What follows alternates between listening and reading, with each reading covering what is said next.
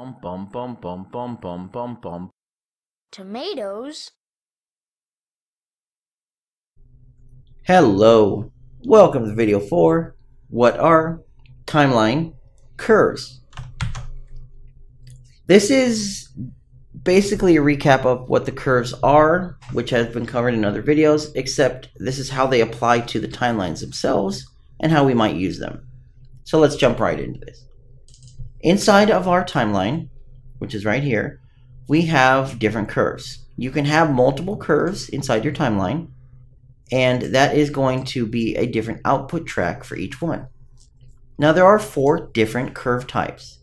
You may only be used to the three that are our normal curves, but there's an additional event track specific to timelines.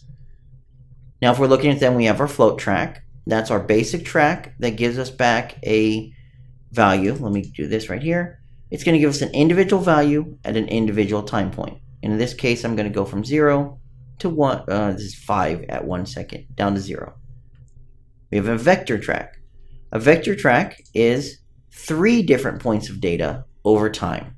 So in this case, I have an x, a y, and a z value that start here, proceed to different values and different key points, and then the output at each time will give me those results. So at one second, I'm going to get back this for an x, this for y, and this for z. Or x, z, and y if I'd actually done these in order. And if we're looking at our outputs, it gives us out a vector. Remember, vectors three float values. We have a color track. So if I was to go down here, you'll notice the color track doesn't have our zooms because the color track is basically going to be just this down here. It is going to be a color value at a certain time and an opacity value at a certain time. So in this example, I have my color going from this color to this color, and these opacity stops. And you can easily, just like any other curve, right click and add key. And here we do have the show curves up here, but you can uncheck it. For the most part, the curves isn't really necessary when you are using a color because the color itself has this bar at the bottom. So we're going to keep that off. We do ha technically have a fourth one. Now that is our event curve. Or technically not a curve, it's an event track. That's created right here. An event track will simply fire off at a certain time an event pulse. An execute will fire on your execute event track wire, and whatever you've told it to do will happen. It's as simple as that. It doesn't matter where it's at in here. It could be at any value. All that matters is it's going to fire off at this time, this time, and this time in my example. Let's compile and save and let's look at our outputs. So in this one, the only thing we're going to have hooked up from the start is our scalar parameter value for our emissive. And you should get used to this one now. We hit G, it pulses up, and it pulses down. Every time I hit G, it's basically going to play from start, and it's going to repeat because I'm taking my float track, outputting the value, and plugging it into here. It's a simple value between 0 and, well, technically it's a value between whatever and whatever, and it can be negative just like a normal float curve. Let's go ahead and plug in the update to our, our vector. What happens here is, watch our item, and you'll notice it goes over, and it moves. And every time I repeat, it moves. All I'm doing each update is setting the location of that sphere to the new location. And remember, if we open this up, if it'll cooperate, there we go. Uh, searching, here we go. Let's put this back. Our vector is basically saying, hey, start at this value, go to these values, and then go to these values. You'll notice our x never changes. Our z basically goes up, stays still, and then flat the rest of the time. And our y changes the entire time. And of course, we could adjust this as needed. We could tell our z to technically go down to like this and then go up. And we save it, we play, and we're going to get down and then up. Because we're simply outputting this value, well, these technically these three values, and telling to set the location. Third one's going to be our color track. This one's pretty simple. We're basically telling our image to adjust its color and opacity. Now by image, well, if we hit play and I hit G, I have a UMG widget on my screen. If we were to simply go into Uh, let's close that down. Let's go into our example again, timeline. I simply have an image that goes over the entire screen and I have it set to basically off to start. And my color track is saying, hey, we're going to go from off. We're going to have a little bit of a clear, transparent red, and then we're going to go back to off over time. So it kind of simulates like what you'd think of like a damage hit. Hey, ugh, oh, that's T, wrong button. I got hit. So it's like a little bit of a pulse and then slows back down. So you could simulate someone getting hit. Maybe this is their heartbeat as they're low in life. Whatever you'd like. You basically can drive a color value into anything else. And it just gives you an output of a color track. Now our last one, I'm going to keep our color track hooked up to this one because it works well, is our event track. Every time our event track fires, so in this case, if I go back to our event track, I'm going to say at, you know, 0.26 fire, 0.78 fire, 0.1, not point, 1.35 fire. So these time values fire off a pulse and fire off the event track.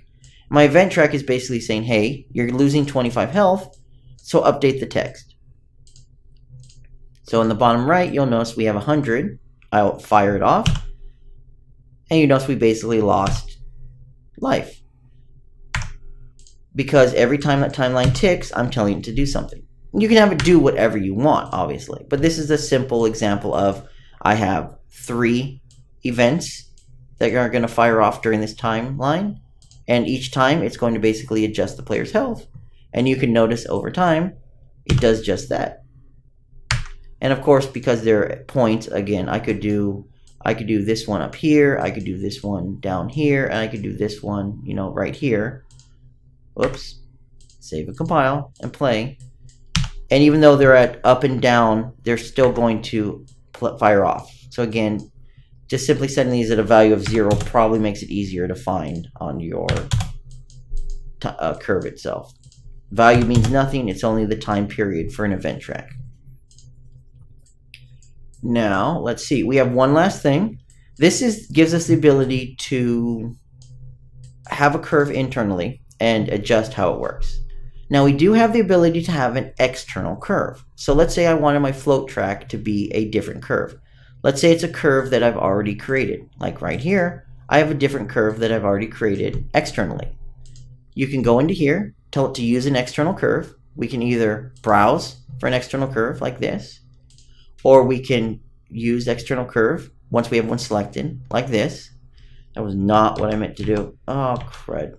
Well, didn't mean to do that. Let's go ahead and hit X. Well, that's a good way to, to get rid of it. Um, that was an accident. I meant to do it over here. So now we have our external curve here. You notice when it's using an external curve, we can't adjust values. We can't adjust values because it's an external curve. You can hit the X to convert back to an internal curve which I've done here. Again, you can select one and do that. Or if you just simply want to add a new one, you can do add selected curve asset like this. And it's going to go ahead and add as a brand new output. So in this case, you see timeline float curve, event graph, timeline float curve. The name of that was timeline float curve and automatically added it as a new output. Let me go ahead and delete that. Go back to what we had before. We have our four outputs.